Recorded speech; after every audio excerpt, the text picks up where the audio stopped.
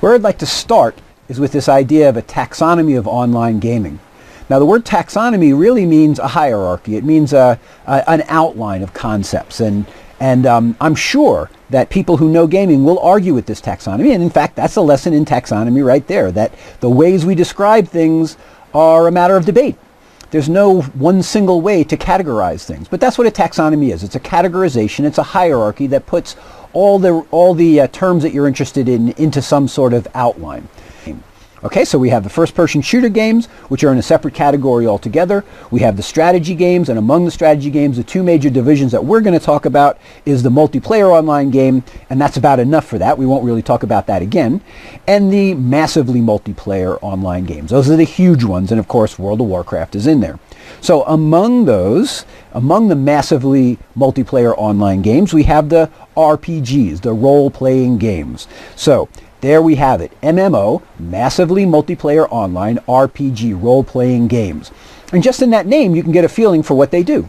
They're massive, they're huge, lots and lots and lots of players, so they're just like the other applications we've studied. They're enormous. They're going to require lots of servers. They're going to be lots of processing power and really high sophisticated technology.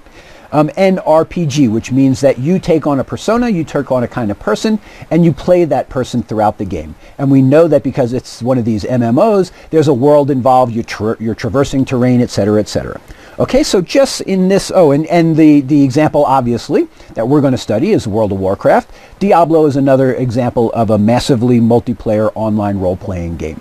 Okay, so just in this taxonomy, you get a feeling for the overall world that we're in, the overall domain we're in, and what particularly we're going to study. Something that's got a persistent world, you move through that world, lots and lots of players interacting all the time, so it's got a very big social component, which we'll talk a little bit about. And the basic motif, the basic idea is you move through that world playing a role, and of course, you know the rest. You do battle, right? You win against, you win victories, and you know that gives you points, and that scales you up in the levels, and that makes you uh, um, now, I won't spend a lot of time giving you the sort of the role playing and how do you play World, World of Warcraft. That's really not necessary for what we want to know. We're not here to learn how to play the game. However, if you need to kind of get a feeling for the game, you feel like you're getting lost a little bit, you need a little bit more of the vocabulary, um, I suggest you go to this, this site. It's a very good introduction to the, to, to the World of Warcraft. Um, starts from zero, so if you don't know anything about it, gives you almost all the vocabulary that we'll use in, in this segment. And uh, so if you feel like you're getting lost, this is a really good place to go. Okay, so you can read this little this little introduction. It basically says more or less what I've said, that it's a role-playing game. You move through worlds, you defeat bad guys, and, um, uh, and you get more and more skill levels as you go along.